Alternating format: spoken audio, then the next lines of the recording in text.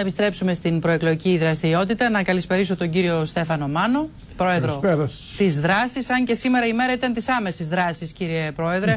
Κάτι με το πρωινό αντένα, κάτι με την Παιανία. Θα ήθελα το σχόλιο σας για αυτά τα δύο συμβάντα. Α, ακούστε, έχουμε αφήσει χρόνια τώρα τη βία ανεξέλεγκτη σε όλα τα επίπεδα.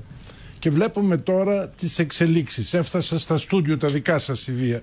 Είναι μια απαράδεκτη κατάσταση. Αλλά είναι και ένα δείγμα μιας κοινωνίας που έχει πάψει να γνωρίζει πώς θα επιλύει διαφορές ή, ε, με, το διάλογο. Και καταλήγουν σε βία επεισόδια που είναι δείγμα δυναμίας συζήτησης και διαπραγμάτευσης. Ε, ε, είναι δραματική αυτή η εξέλιξη. Αλλά θα πρέπει όλοι μας κάπως να συνειδητοποιήσουμε ότι αυτή η βία η οποία δεν εκδηλώθηκε μόνο σήμερα σε εσάς, εκδηλώνεται σχεδόν καθημερινά σε πάρα πολλές εκφράσεις της ζωής πρέπει να την εξαφανίσουμε και όταν συμβαίνει να την τιμωρούμε ωστόσο, παντού. Ωστόσο όπλος στα χέρια ατόμων, μελών, εκπροσώπων κομμάτων όπως ο κύριος Κασιδιάρης της χρυσής Αυγής δεν δίνουν και τα πιεστικά προβλήματα όπως της ασφάλειας. Το μεγάλο αυτό ζήτημα που σήμερα το είδαμε πώς ε, εμφανίστηκε στην Παιανία. Ναι, αλλά αυτό τι, τι σημαίνει αυτό; Αφέθηκε τόσος χρόνος, αφέθηκε τόση ελευθερία να έχει όλος ο κόσμος όπλα. Κυκλοφορούν μου λένε ατέλειωτα καλάσνικοφ στην Ελλάδα. Αυτό είναι ένα δείγμα ενός κράτους που έχει πάψει να κάνει τη δουλειά του που ανέχεται αυτή την κατάσταση. Ε, αυτά πρέπει να σταματήσουν. Διότι πρέπει να το καταλάβουμε ότι θα είναι όλα εκτός ελέγχου σε λίγο καιρό. η, δράση, η δράση πιστεύει ότι χρειαζόμαστε περισσότερη αστυνόμευση ή καλύτερη αστυνόμευση; Καλύτερη, κύριε Χούκ. Δεν είναι θέμα. Ξέρετε, λέμε πολλές στατιστικά, δυστυχώς δεν τα έχω τα πρόχειρα τα στοιχεία, ότι έχουμε πολύ περισσότερους αστυνομικούς από τις άλλες χώρες. Ασφάλεια όμως δεν έχουμε. Είναι προφανές ότι δεν είναι θέμα αριθμών. Είναι θέμα πώς να σας πω, ποιότητο στι παρεχόμενες υπηρεσίες. Το ίδιο γίνεται και στο δημόσιο. Έχουμε ατέλειωτου δημοσίους υπαλλήλους, αλλά δεν έχουμε και δημόσιες υπηρεσίες. Στα 18 σημεία που αναφέρετε στην επιστολή που στείλετε με τον κύριο Τζίμερο στα, στους, στη Νέα Δημοκρατία, στο Πασό και στη Δημοκρατική Αριστερά, η ασφάλεια είναι ένας από τους τομείς που πιστεύετε ότι τα κόμματα μπορούν να συνεργαστούν με τα εκλογικά; Ασφαλώς δεν, δεν είναι αν μπορούν. Πρέπει να συνεργαστούν. Δηλαδή είμαστε, έχουμε ζητήματα στα οποία είναι φανερό ότι πρέπει να συνεργαστούμε διότι δεν είναι ιδεολογικά ζητήματα. Είναι πρακτικά ζητήματα. Είναι, πώς να σας πω, από το πιο στοιχειώδες το οποίο δεν θέλουμε να δούμε, κάνουμε όλοι πως δεν το καταλαβαίνουμε, ότι είμαστε ανίκανοι ως κοινωνία να ελέγξουμε την παράνομη στάθμευση. Είναι ιδεολογικό θέμα αυτό.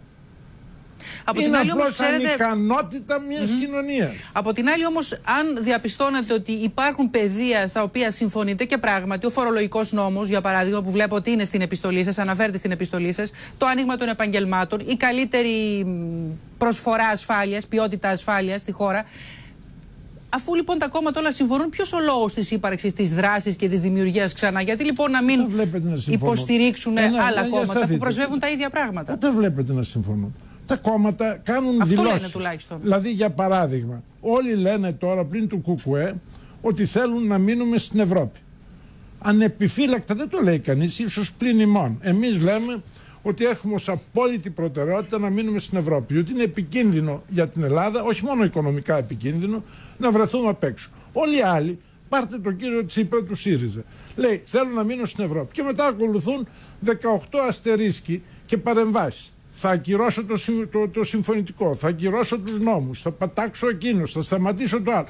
Και νομίζει ότι με αυτή την κίνηση θα μείνει στην Ευρώπη. Μα δεν θα μείνει στην Ευρώπη, διότι όλα αυτά τα οποία λέει είναι αντιευρωπαϊκά. Απ' την άλλη, όμως, υπάρχει μια βεντάλια κομμάτων και πολιτικών αρχηγών, ο κ. Σαμαράς, ο κ. Βενιζέλος, ο κ. Κουβέλης, που λένε ενθέρμο ναι στην Ευρώπη. Λένε ενθέρμο ναι και αρχίζουν τα γράδα των αστερίσκων. Τα πιο πολλά, τους πιο πολλούς αστερίσκους τους έχει ο κύριος Τσίπρας. Ακολουθεί ο κύριος Κουβέλης. Οι άλλοι δύο είναι πιο μετρημένοι στους ε, αστερίσκους τους.